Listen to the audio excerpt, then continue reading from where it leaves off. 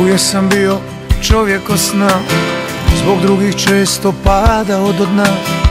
Al znam da nisam čovjek sa greškom Ne mrzim zato Padam sa smješkom Ma kakva bila ta noćna mora Znam da istina pobjediti mora. Ako zbog istine pred svijetom se sklanjam Zašto onda takvom svijetu se klanjam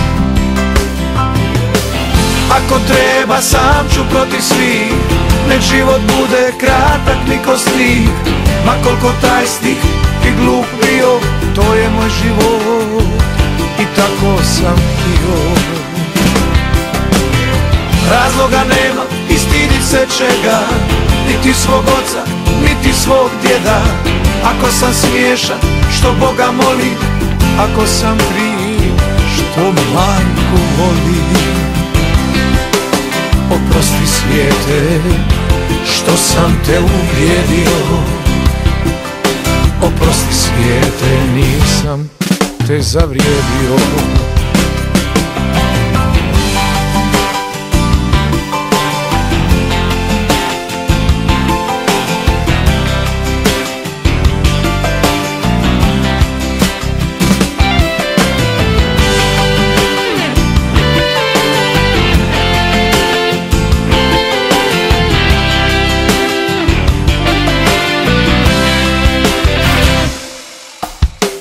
Uvijek sam bio čovjek sna.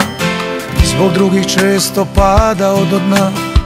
Al znam da nisam čovjek sa greškom. Ne mrzim zato. Padam sa smješkom Ma kakva bila ta noćna mora. Znam da istina pobjediti mora. Ako zbog istine pred svijetom se sklanjam Zašto onda takvom svijetu se klanjam ako treba sam ću protiv svih. Nek život bude kratak mi ko stih. Ma koliko taj stih i glup bio To je moj život. I tako sam htio Razloga nema i stidit se čega. Niti svog oca, niti svog djeda.